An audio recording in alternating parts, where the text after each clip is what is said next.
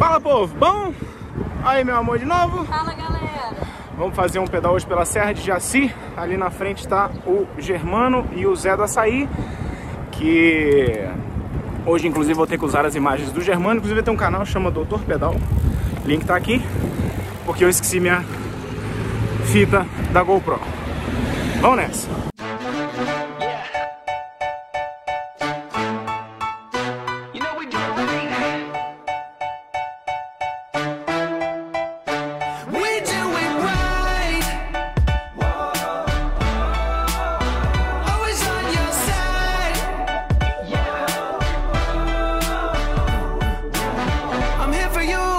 You need to lend a helping hand when you wake up. Just know that we're always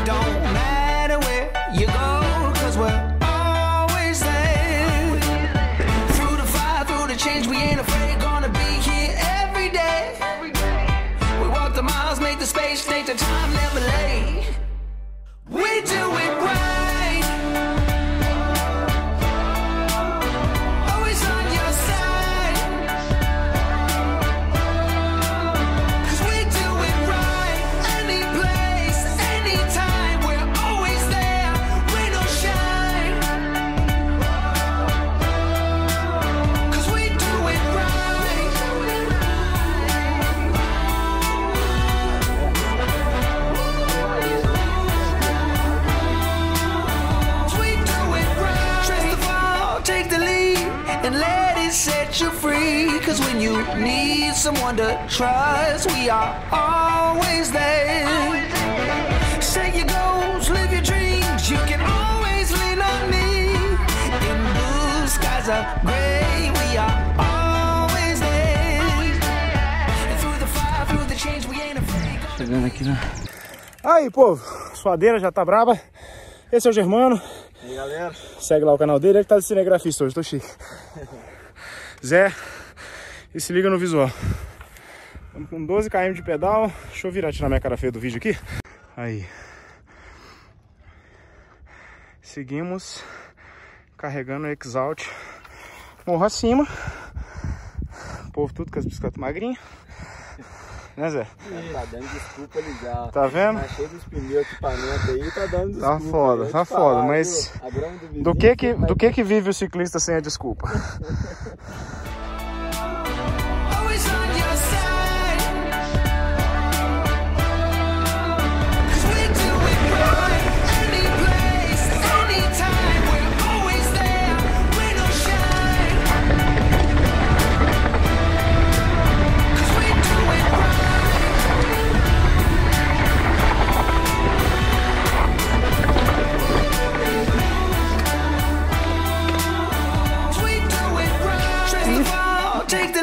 Curtiu? And let it set you free. Cause when you need someone to trust, we are always there.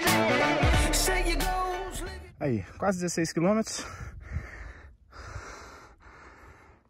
Seguimos esse belo visual da trilha do funil.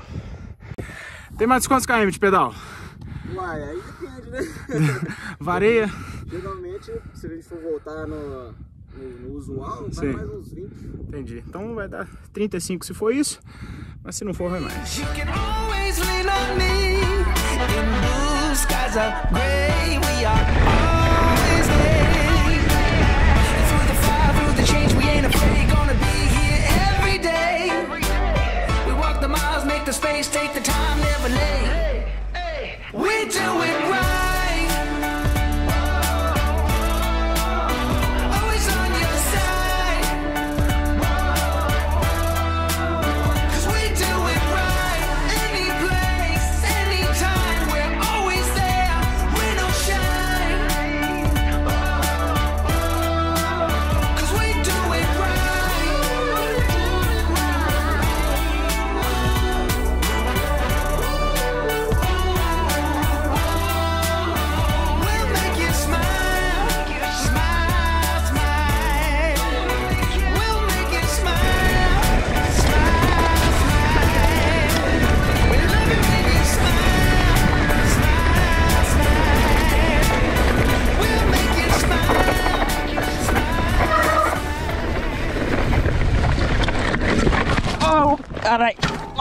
senhora. Uh, tudo bem. Valinha, cachorro. Sapatilha, Tudo certo aí, velho? tudo certo. Vai tá vivo, garrafa. Eu acho que tá vivo. O que? Ah, só saiu a corrente. Opa!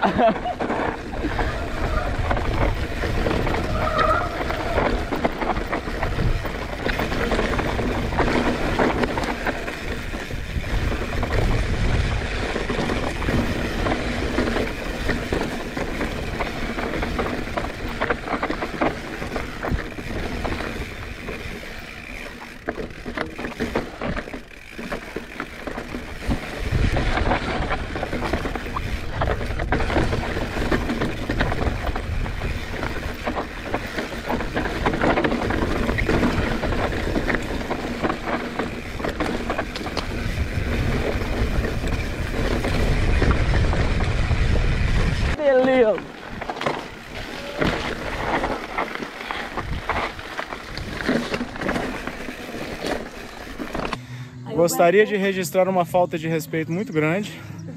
Jéssica me botou pra sobrar no estradão. Única vez na vida. Isso não se faz, viu? Fique registrar. A mulher tá forte, viu? O Germano ajudou também, também não gostei. Tá tudo bem. E aqui, ó, estamos aqui na balsa, que é uma balsa. Como é que é o nome daqui mesmo? Balsa. Represa de É... Funil. funil. Então aqui é a balsa da represa funil. Larga lá daquele lado de lá. Olha que lugar maneiro.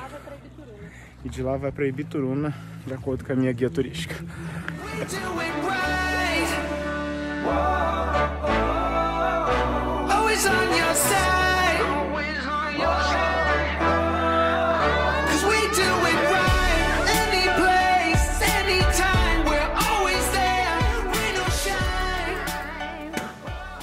Fala povo, tá muito baixo isso aqui.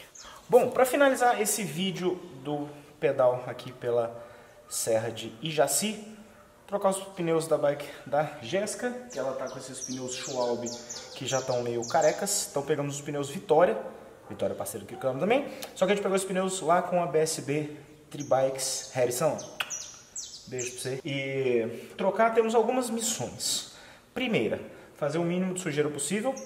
O pessoal aqui da Bike Mais é, deu duas doses de líquido pra gente, pra gente fazer a troca do pneu. E ah, encaixar o pneu certinho, tá? porque esses pneus geralmente são bastante duros.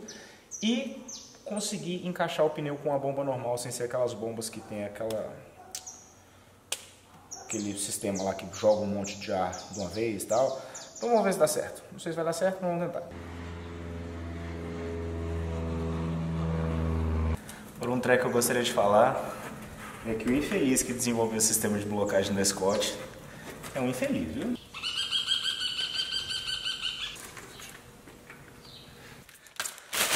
Aí, ó, BSB Tribike.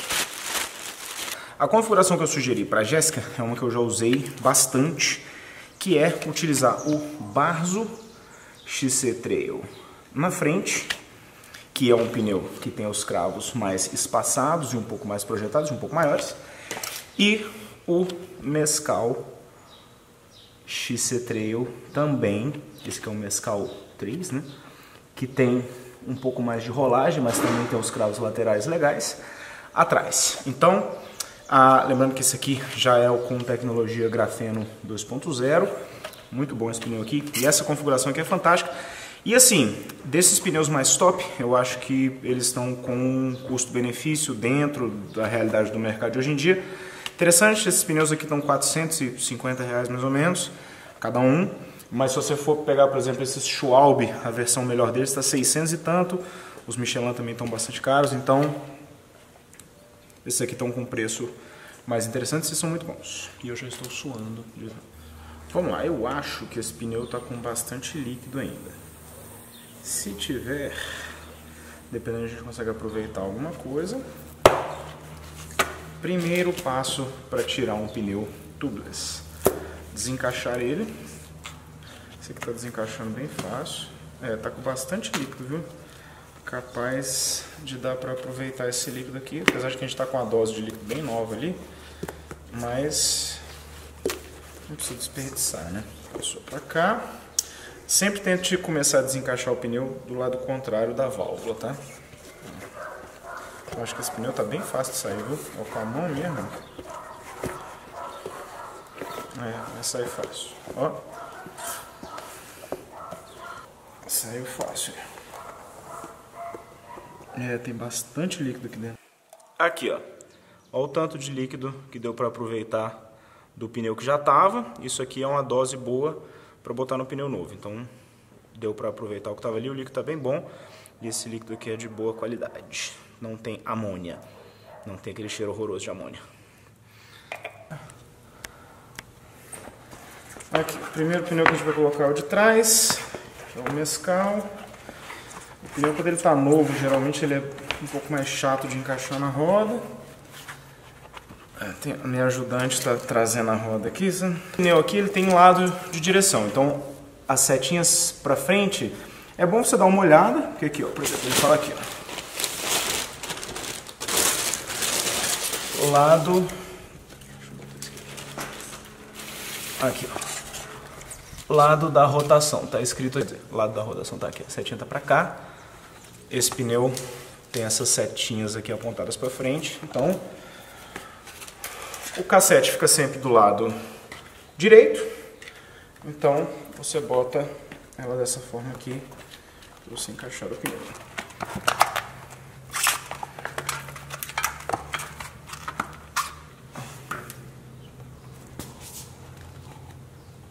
Um momento para o café.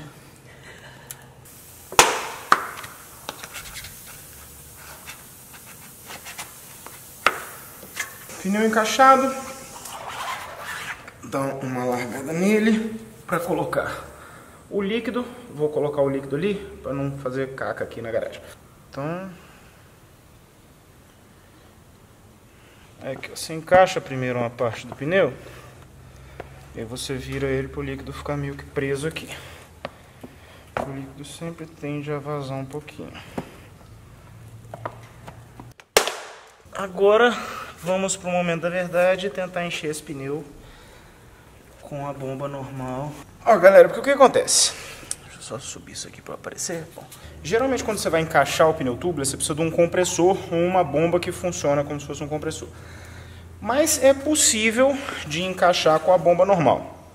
Se não der, é só levar num posto, usar aqueles adaptadores e encher. Mas vamos tentar aqui ver se vai. Eu gosto, primeiro você tem que ver se a válvula aqui, o local da válvula está bem encaixado. Esse aqui tá, o pneu está vedando a válvula dos dois lados. Eu gosto de apertar um pouquinho aqui, que pelo menos aqui já fica vedado. Vamos ver se... Vai dar, hein?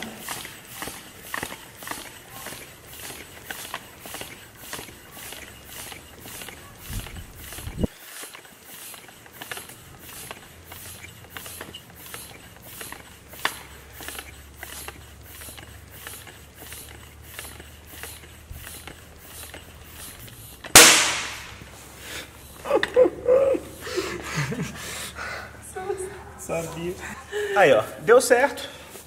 Encaixou facinho e pronto, isso aqui tá resolvido.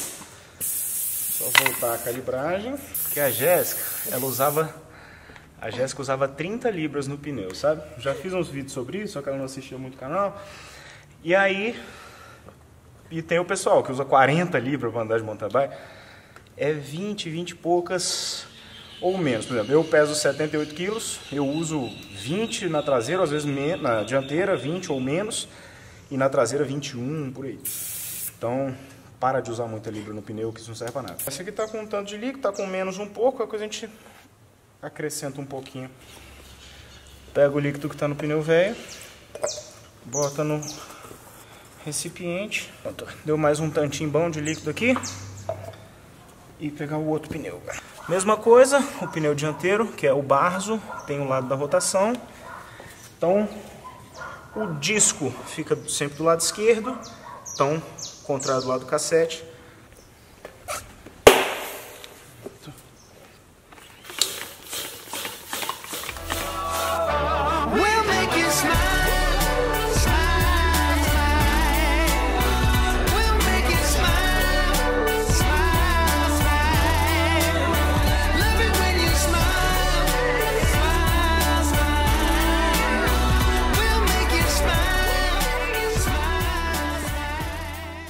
Uma suadeira monstra, é... não deu, o pneu não encaixou, então o de trás encaixou, o da frente não encaixou, pegar um adaptadorzinho de compressor de posto. E não consegui dar pra resolver.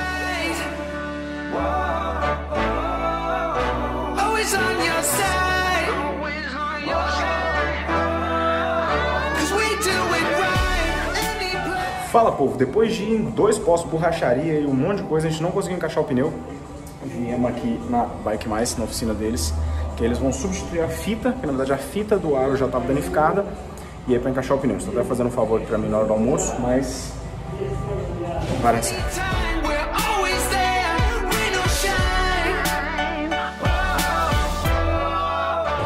Aqui, povo. Então, o Barzo instalado. Tô aqui em frente à Bike Mais. Eles trocaram a fita do pneu, porque a fita estava danificada e com a fita danificada é impossível vedar o pneu. Tudo que a gente foi em posto, fomos em borracharia, foi um monte de coisa tentar fazer o encaixe e não fazia de jeito nenhum.